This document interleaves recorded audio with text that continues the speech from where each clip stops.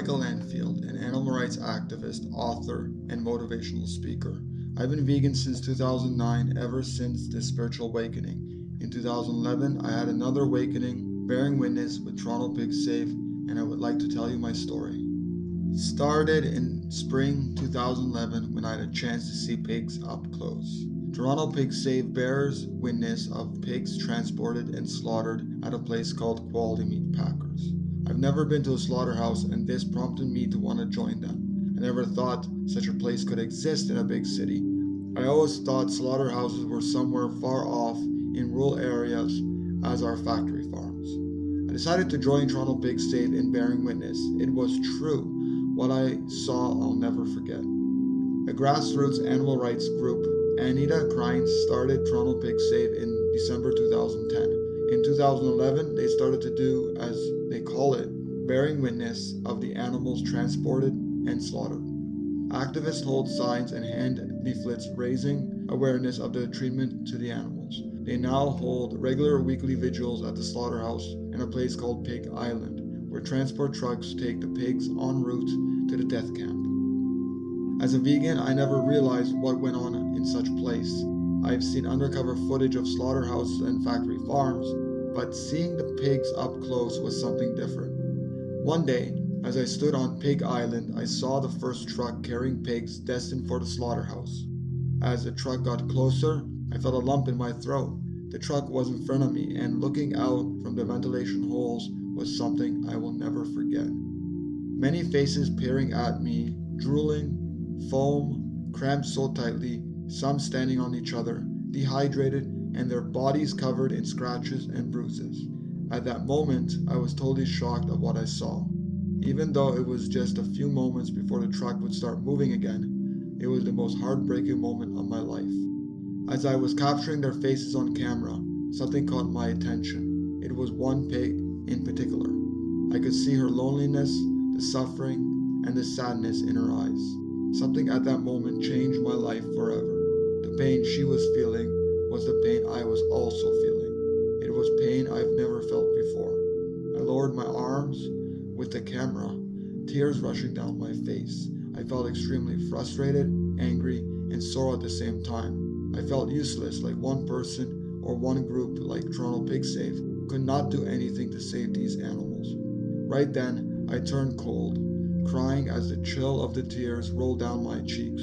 As I moved closer to the truck, wanting to touch the pig, there was this unbearable smell. I think it was ammonia that came from the truck that got me gagging, gasping for air. I then backed away from the truck, not believing what I had witnessed. It was an experience I'll never forget. A few moments later, the truck quickly whirled away, turning, making its way to the death camp. I now realized what my purpose was, and I made a promise to the pigs that I would dedicate my life to spreading the vegan message.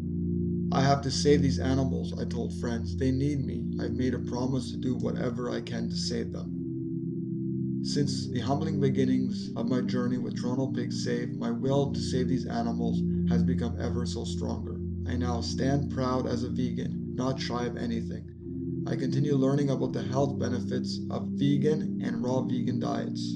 I continue learning and researching farming practices and ethical and spiritual veganism. When I better myself, I better the animals and all of creation, I told friends. These animals do not have a voice. We don't know precisely what they're thinking of when they're being trucked off to the slaughterhouse. I do believe, though, that the animals know that their life is coming to an end. When they arrive at the slaughterhouse, I can hear their screams of terror and pain as they struggle trying to free themselves. It's like no sound I've ever heard because morally I feel it is unjust to do this to innocent beings. I feel it's my duty to do whatever I can to help them. We need to free them in order to free ourselves.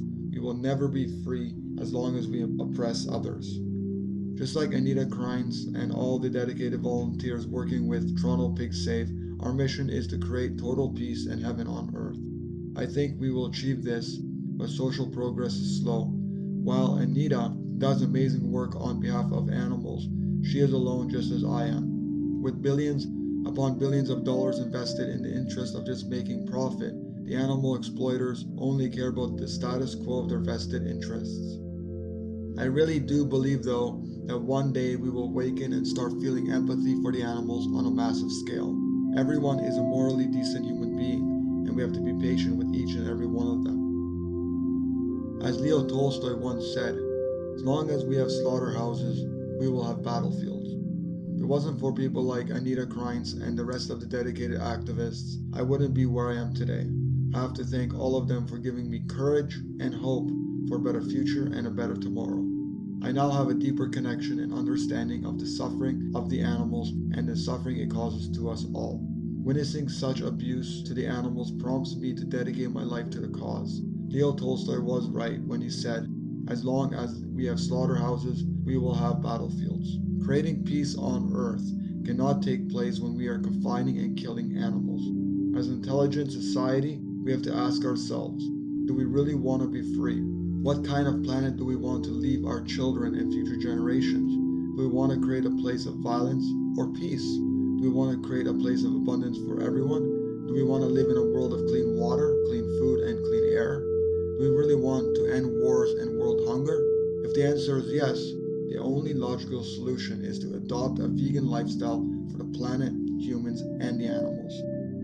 In time, we must see a massive change if we want to survive on this planet. As Will Tuttle, PhD, the author of the World Peace Diet, says, I don't think it is far off. I think it's inevitable that we will wake up, that this violence towards animals, which boomerangs as violence, disease, and a sense of apathy, and as low self esteem in people, and basically the enslavement in many ways of humans, would completely change. We will prevail. Love will conquer hate, and empathy will conquer apathy, as peace will abolish wars. It is inevitable that I think in our time, animals and humans will be free and the days of eating animals will be over. We will go back to our roots as we did some thousands of years ago when we lived more harmoniously with the earth and each other. It has to in order for us to be truly free. The way of the world with so much hate and violence, continuing on such paths will eventually lead to genocide. Ever since the herding revolution of 8 to 10,000 years ago, we have caused more animal and plant extinction than in the previous 65 million years combined. Since that time, wise men such as Pythagoras, Leonardo da Vinci, Cesar Chavez, Mahatma Gandhi, and Albert Schweitzer all understood these concepts, yet their teachings have been erroneously covered up over the decades because of our cultural programming. Volunteering with animal rights activist Laura Lee and Compassion for Animals to becoming vegan in spring of 2009 and witnessing pig transport trucks and slaughterhouses in 2011, my journey has taken many roads spiritually by bearing witness to these animals. After connecting to the animals through their screams and witnessing them bound for slaughter, I can no longer say that I didn't know.